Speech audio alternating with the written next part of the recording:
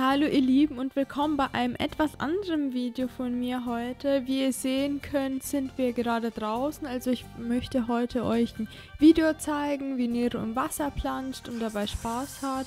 Ich wollte das eigentlich live aufnehmen, aber da der Wind so stark war und man mich nur ganz leise verstanden hat, muss ich das jetzt eben nachkommentieren.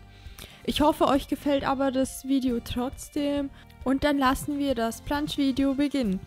Also erstmal die Randdaten dazu. Nero schwimmt im Wasser nicht. Er geht zwar sehr gerne ins Wasser rein, er ist eine richtige Wasserrate, aber wenn er einfach keinen Boden mehr unter den Füßen hat, ist es für ihn, ja, ist es einfach nicht so seins.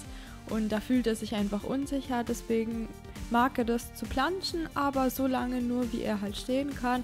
Er ist dann immer voller Freude und übelst dann aufgedreht, wenn er im Wasser planschen und springen kann. Also das werdet ihr auch im Video merken.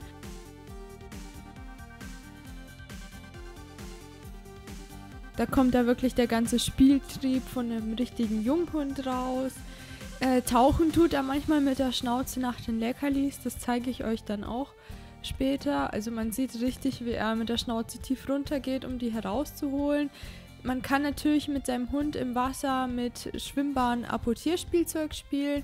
Da aber Nero jetzt nicht so den Spaß an Apportieren hat, machen wir das nicht. Er würde das Spielzeug dann einfach nur im Wasser treiben lassen, würde vielleicht hinschwimmen und dann so sagen, ja, was soll ich damit? Also apportieren ist nicht so seins. Dafür liebt er es aber einfach nur so zu planschen und so rumzutoben. Vor allem, wenn man ihn ein bisschen anstachelt. Leider kann man halt jetzt nicht sehen, was ich zu ihm alles sage und alles, da das halt leider nachkommentiert ist, aber das ging halt aufgrund des Windes nicht.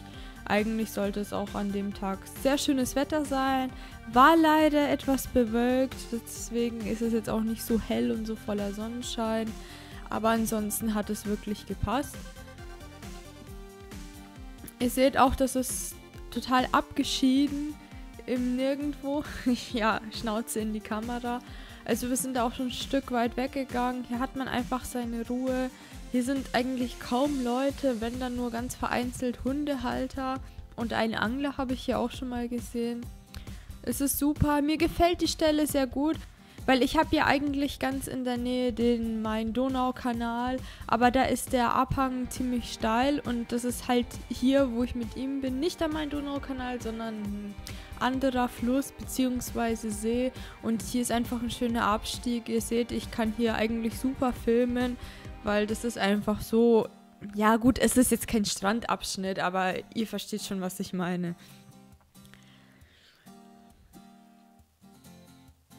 Ja, nasser Hund, ne? Trocknet von alleine, also ich muss da eigentlich nicht nachhelfen, nur wenn man ihn jetzt ganz baden würde, also wenn er jetzt komplett ins Wasser gehen würde, müsste man ihn nachföhnen, da sonst das Unterwell nass bleiben würde. Das Problem hat man halt mit einem kurzer Hund gar nicht, also das ist halt das Praktische an dem kurzen Hund, einfach mit einem Handtuch trocken rubbeln und das war's.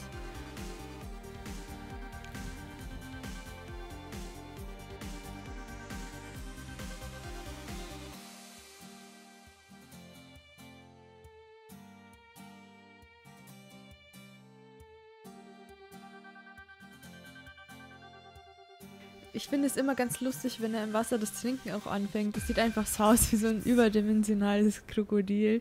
Also das ist meine Meinung dazu. Ich finde das ganz schön, ja, wenn er einfach so nach dem Wasser schnappt, wie hier jetzt.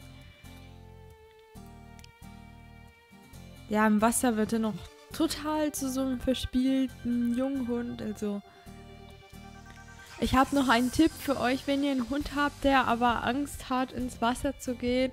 Also nicht jeder Hund geht von sich aus sehr gerne ins Wasser. Aber man kann dem Hund das Wasser ein bisschen geschmackvoller machen. Am besten und einfachsten ist es natürlich, wenn ein Hund dabei ist, der eine totale Wasserrate ist, der selbst von sich aus ins Wasser reingeht. Da übersteigt die Neugier eures Hundes sehr oft die Angst und der Hund folgt dem anderen dann auch ins Wasser. Oder wenn euer Hund sehr spielzeugfixiert ist und sehr gerne apportiert, könnt ihr auch mal so ein wasserfestes äh, Spielzeug reinschmeißen, also welches, was nicht sinkt. Aber ich würde euch auch empfehlen, zu Beginn nicht so weit reinzuschmeißen, weil falls der Hund das Spielzeug nicht holen will, dass ihr das selbst noch zu fassen bekommt, weil das wäre dann einfach schade um das Spielzeug. Ihr könnt auch natürlich, wenn das Wetter passt und ihr in so ein Badesee, Baggerloch seid, selbst mit ins Wasser gehen und den Hund zu euch reinlocken. Aber meistens braucht es einfach seine Zeit. Also es gibt auch sehr viele Hunde wie Nero, die zwar gerne im Wasser sind, aber nicht schwimmen. Und es gibt auch noch andere Hunde, die auch sehr gerne schwimmen. Die gehen da auch wirklich tief rein. Und sind auch leidenschaftliche Schwimmer.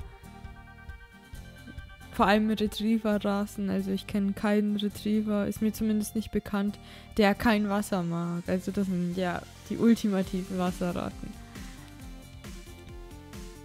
So, was gibt es eigentlich noch so zu erzählen?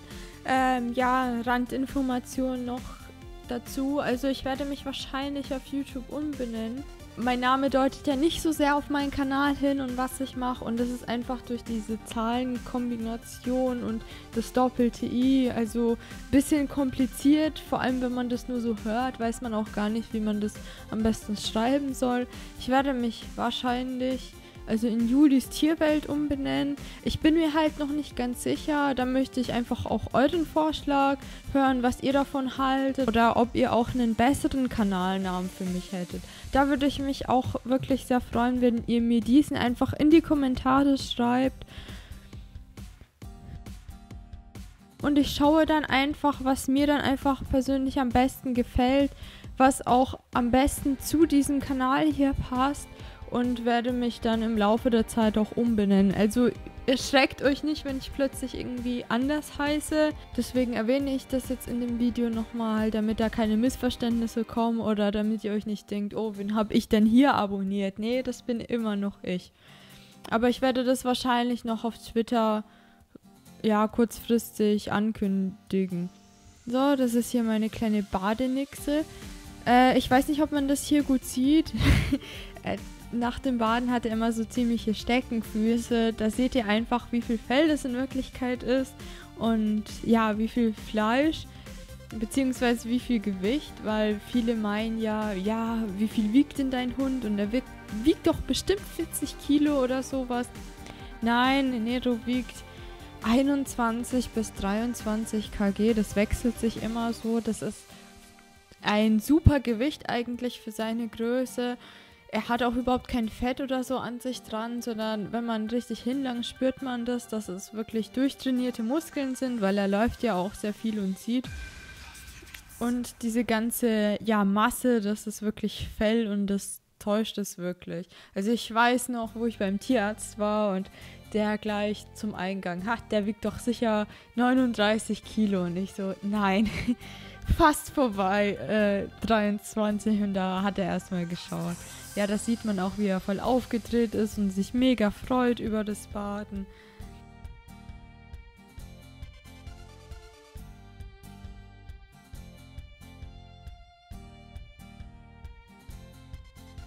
Ui, da sieht man nochmal, wie er volle Kanne in das Wasser reinrast und wieder zurück.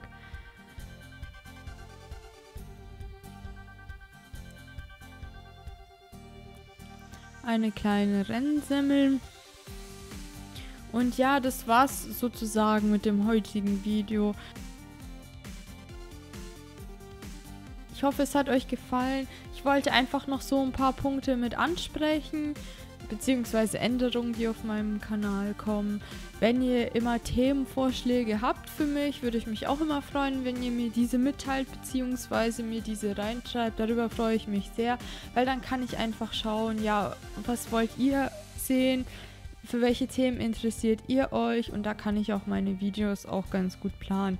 Ich habe zwar jetzt noch ewig viele Themen für die Zukunft, aber es schadet ja nie, wenn man einfach neue Themenvorschläge bekommt. Deswegen freue ich mich darüber. Immer ganz schön und natürlich, wenn ihr immer fleißig kommentiert, eure Meinungen schreibt. Das freut mich immer sehr und ja, das war's mit dem Video hier. Wir sehen uns bei den nächsten. Okay, Leute. Tschüss und macht's gut.